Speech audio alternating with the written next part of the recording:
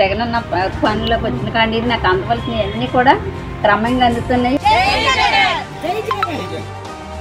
మీరు ఏ వర్గానికి ఏ మతానికి ఏ పార్టీకి చెందిన వారైనా కూడా మీకు ప్రభుత్వ సంక్షేమ పథకాలు వివక్ష లేకుండా అందాయని అనుకుంటే జగనన్నకు మద్దతు తెలియజేస్తూ ఈ నంబర్కి మిస్డ్ కాల్ ఇవ్వండి.